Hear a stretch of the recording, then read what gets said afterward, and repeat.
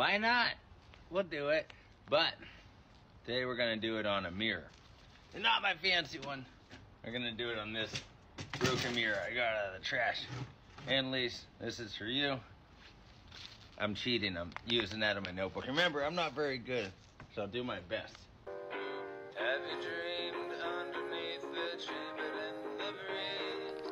the Anna, now this is the tough part. the